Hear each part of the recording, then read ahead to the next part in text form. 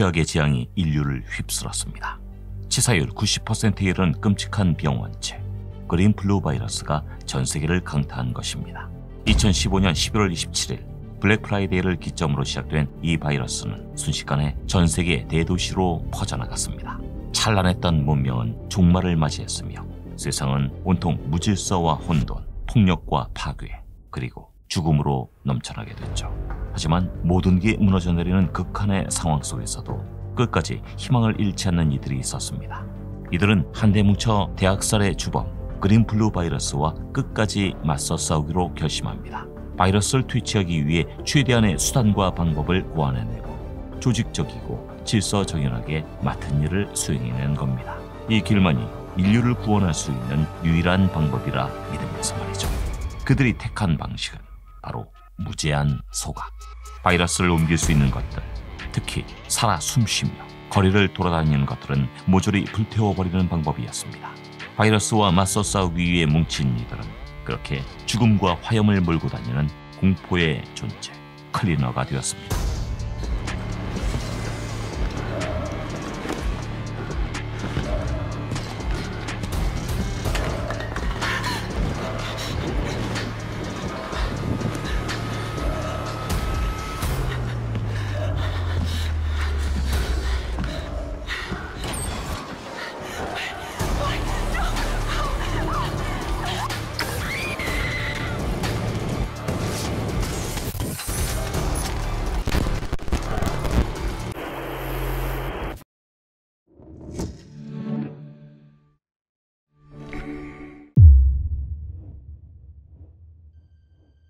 세상이 아직 평화로웠던 시절 보이지 않는 곳에서 묵묵히 시민들을 위해 헌신하는 이들이 있었습니다. 바로 뉴욕시 위생국 소속의 환경미화원들이었죠. 환경미화원이었던 조페로 역시 묵묵히 자신의 일에 헌신하는 수많은 이들 가운데 하나였습니다. 사랑하는 아내 시오나와 함께 맨해튼에 거주하던 그는 라디오 토크쇼에 사연 보내기를 좋아하고 야구 경기를 즐겨 관람하는 소박한 시민이었습니다. 일상은 만족스러웠고 모든 게 평화로웠죠. 그린플루가 나타나기 전까지는 말입니다. 재앙은 고든 에머스트란 어느 미치광이 과학자로부터 시작됐습니다. 광신적인 환경론자였던 에머스트는 지구의 존속을 위해 인구수를 극단적으로 조절해야 한다는 믿음을 지니고 있었는데요.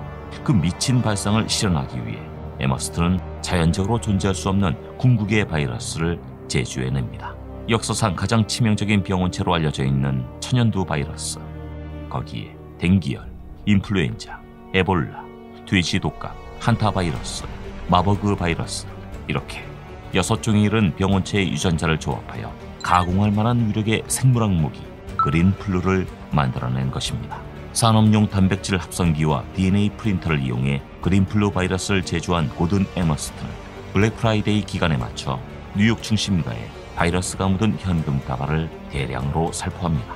그날은 2015년 11월 27일 크리스마스를 한 달여가량 앞둔 시점이었죠.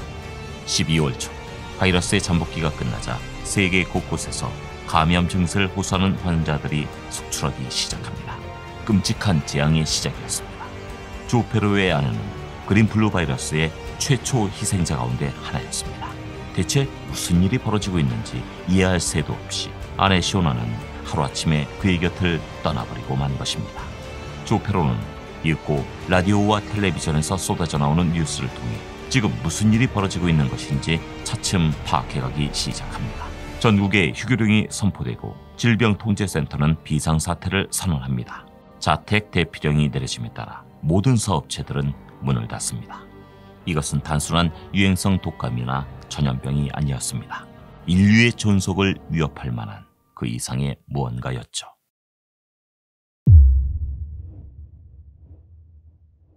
평화롭던 일상은 한순간에 무너져버리고 말았습니다. 조페로는 깊은 슬픔에 잠겼지만 그래도 정부와 시 당국이 시민들을 위해 적절한 조치를 취해줄 거라 믿고 있었습니다.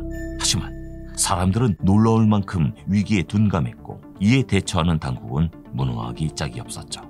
비상사태가 선포됐음에도 불구하고 수많은 사람들이 방역 지침을 어긴 채 직장에 출근하거나 슈퍼에 가고 심지어 영화를 보러 다녔던 겁니다.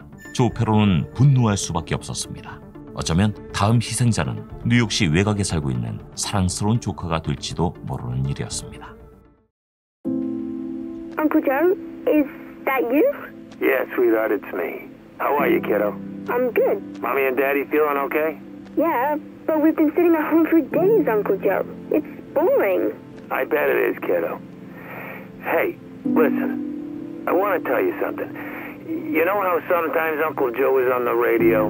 Yeah? Well, it might be that I'll be on the radio again soon. Or the people will talk about me there. And they might say things that aren't true. Okay. Well, whatever they may say, I want you to know. I want you to remember that that I only ever wanted you to be safe. Everything I'm doing, all the good and bad, is so you could be safe. Okay? Okay. That's my girl. Gotta go now. I love you. Sounds like we have an old timer on the line. Joseph Farrell. Hey, Joe, what's your take on the dollar flu? I think this really shows how vulnerable this country is. I mean, how stupid you have to be not to go to the hospital when you're sick as a dog. We got people going to work, to the supermarket, even to the goddamn movies, infecting thousands of other people out of pure ignorance. I'm telling you, this is gonna blow up big time. Just because most people are too damn stupid to realize what's going on. There's no one with the balls, not the government, not nobody, and the brains to do what's gotta be done to keep this from spreading. Sorry to cut you off there, Joe. Thanks as always for your thoughts. 라디오 인터뷰에서 분노를 쏟아낸 조페로. 하지만 진행자는 조페로의 말을 끊고 황급히 인터뷰를 끝마칠 뿐이었습니다. 끔찍한 재앙이 다가오고 있었지만 아직 사람들은 사태의 심각성을 제대로 파악하지 못하는 듯 보였습니다. 이윽고 조페로가 우려했던 일이 벌어집니다. 공공 질서가 송두리째 무너지기 시작한 것입니다. An entire American city Known as green poison, Central Park has been converted to a mass burial ground. Power outages, gas line leaks, fires. The government's We're expecting another night of widespread looting. People of New York are begging for Our first responders are either dead no resources available. or treated like animals. It's not our job. We're not trained for 미국 연방 정부는 사태를 수습하기 위해 특단의 조치를 시행합니다. 도시 전체를 봉쇄한 뒤 주 방위군, 경찰, 소방대원 등 재난 관련 기관들을 모두 통합하여 긴급 대응 부대 JTF를 설립하기에 이른 것입니다. 뉴욕시 위생국 소속이었던 환경미화원들 역시 JTF로 차출되어 방역 현장에 투입되죠. 조페로는 다른 동료들과 함께 감염자들의 시신을 수거해 화장하는 임무를 맡습니다. 하루빨리 바이러스 사태가 종식되기만을 간절히 바라면서 말입니다. 하지만 감염이 걷잡을 수 없이 확산되고 사망자의 수가 기하급수적으로 늘어가자 진정한 지옥이 펼쳐집니다. 매일 새로운 시신이 산더미처럼 쌓여갔습니다. 조페로는 한때 누군가의 부모이자 자녀였고 동료이자 친구였을 이들을 쉴 새 없이 불태워야 했습니다. 비현실적일 만큼 참혹한 광경 앞에서 조페로를 비롯한 환경 미화원들은 점차 자신들의 임무에 광적으로 집착하게 됩니다. 사람들의 시신을 불태우는 이 끔찍한 임무가 인류를 위해 반드시 필요한 일이라고 믿어야 하지만 간신히 이성의 끈을 유지할 수 있었기 때문입니다. 사태 초기에 연방 정부와 시 당국은 가까스로 질서를 유지하는 데 성공한 듯 보였습니다. 맨하튼 한복판에 감염자들을 수용하기 위한 격리 구역을 조성했으며 당국은 시민들을 보호하기 위해 필요한 모든 조치를 동원했습니다. 조페로 역시 정부가 최선을 다해줄 거라 믿으며 묵묵히 맡은 임무를 수행했죠. 그러나 사태를 수습하기 위한 모든 노력은 결국 수포로 돌아가고 맙니다. 뉴욕시 전체 대정전이 몰아닥친 겁니다.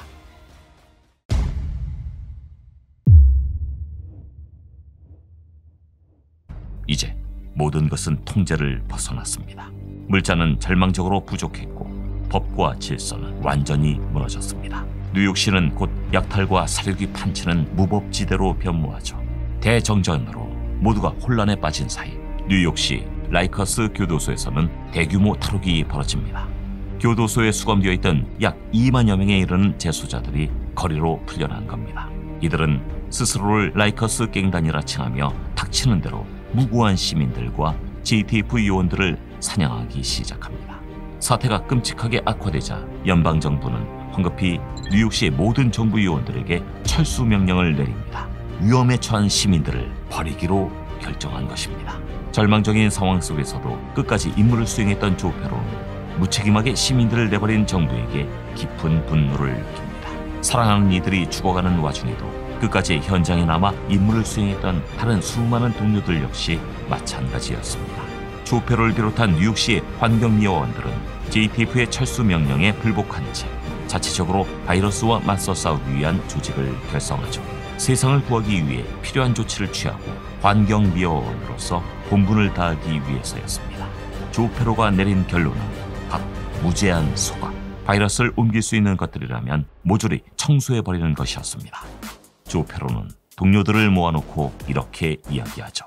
병자는 이미 죽었다. I'm telling you, what I'm seeing here are the bravest men and women I've ever seen in my life. We've all lost someone. But you're still willing to stand up and hear me out. And I've got one simple thing to tell you, one truth that the government refuses to recognize. The sick are already dead. 감염된 이들은 이미 죽은 것이나 마찬가지다. 따라서 감염된 이들은 살아있는 생명이 아니다. 그렇기에 모두 불로 정화해야 한다. 이런 끔찍한 결론에 도달한 조페로는 독자적인 조직 클리너를 결성한 뒤 뉴욕시 곳곳에서 살아있는 시민들을 소각하기 시작합니다. 참혹한 재앙 한복판에서 절망에 압도당한 그들은 이미 정상적인 사고를 할 수가 없었습니다. 평범했던 환경 미화원들은 그렇게 가장 공포스럽고 잔혹한 세력 클리너가 되었습니다. 이들은 조직적이고 치밀하게 움직였으며 인류를 위해 일한다는 사명감을 갖고 부지런하게 소각 작업을 수행했죠. 악명 높은 범죄자들로 가득한 라이커스 갱단조차 그런 클리너의 잔혹함과 광기에 혀를 내두를 지경이었습니다. 하지만 클리너에게 맞서 시민들을 보호하고자 나선 이들이 있었으니 바로 국토안보부 산하 비밀조직 디비전 요원들이었습니다. 전 국가적 재난 사태가 발생하자 미합 중국 정부는 대통령 훈령 51호에 근거하여 전략 국토부 소속 비밀 요원들, 약칭 디비전에게 소집 명령을 내립니다. 디비전 요원들은 무정부 상태가 된 뉴욕시에 투입되어 질서를 회복하기 위해 고군분투하죠. 거리에 방치된 시민들을 보호하기 위해서는 먼저 도시를 장악한 무장 집단부터 하나둘씩 토벌해야만 했습니다. 소각 작업을 진행하는 클리너에게 그런 디비전 요원들은 또 다른 바이러스의 숙주나 다름없었습니다. 디비전 요원들은 뉴욕시 격리구역을 장악한 클리너들을 섬멸하기 위해 그들의 우두머리인 조페로 사살 작전을 개시합니다. 조페로를 비롯한 클리너 조직원들은 이에 맞서 치열한 저항을 이어가죠. 광기에 젖은 학살자들을 처단하고자 하는 디비전 그리고 적개심과 광기로 똘똘 뭉친 클리너 지옥으로 변한 뉴욕시 한복판에서 그들은 물러설 수 없는 최후의 대결을 펼칩니다. 누구에게도 의지할 수 없는 극한의 재난 상황이 닥친다면 여러분은 어떤 선택을 내리시겠습니까? 절망에 맞서 싸우시겠습니까? 아니면 희망을 내버린 채 현실에 굴복하시겠습니까? 어쩌면 정이라고 믿고 싶은 길을 묵묵히 걸어나가는 길도 있을지 모릅니다. 마치 조페로가 이끄는 클리너들처럼 말이죠. 선하고 이타적인 의도로 움직이지만 결과적으로는 끔찍한 악행을 일삼게 된다는 점에서 클리너는 정말 독특하고 아이러니한 캐릭터성을 지니고 있습니다. 클리너의 광기가 더욱 설득력 있게 다가오는 이유는 바로 그들이 모순된 선택을 할 수밖에 없었던 평범한 시민이기 때문이 아닐까요? 유비소프트의 신작 FPS 게임 엑스 디바이언트에서는 여러분이 직접 클리너가 되어 전장을 누비실 수도 있습니다. 강력한 화염을 내뿜으며 적들을 불태우고 소이탄으로 상대방을 공포에 떨게 만들어 보는 건 어떤가요? 지금까지 유비 클래스였습니다. 다음 이야기도 많은 기대 부탁드립니다.